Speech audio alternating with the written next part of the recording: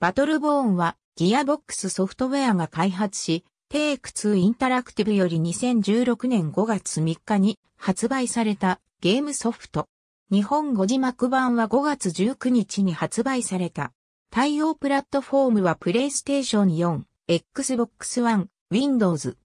25人のヒーローからキャラクターを選び、対戦する一人称視点の 3D アクションシューティングゲームであり、マルチプレイヤーオンラインバトルアリーナのゲーム。公式のジャンルはヒーローシューターとされている。PS4 では2016年4月9日から4月18日まで、Xbox One、Windows 版は4月14日から4月18日まで、実施されたオープンベータテストには200万人以上が参加した。2009年に発売されたボーダーランズの開発チームが本作の開発を行った。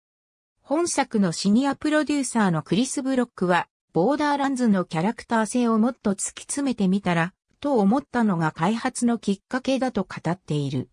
かつて宇宙に数多くあった星々はロザー・レンダイン、将軍と彼の率いる異次元の存在、バレル氏によって吸収されてしまった。宇宙最後の星ソーラスを侵略から守るため、ヒーローたちが立ち上がる。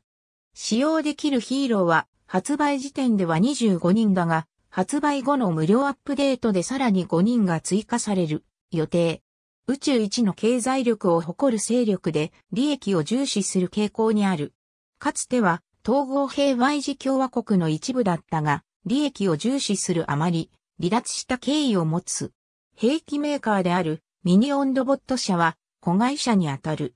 自然を愛し探求する者たちの集う宗教組織で宇宙の自然を守ることを使命としている。かつては全宇宙に勢力を伸ばしていたが、バレル氏襲来により勢力を失いつつある。参加組織の一つに、ジェネリット帝国に武力で立ち向かう存在の審判者がある。特定の勢力に属さぬはぐれ者たちの総称であり、デトリアスリングを本拠地とする。相互防衛、自由、平等をモットーとする勢力で、ピースキーパーとも呼ばれている。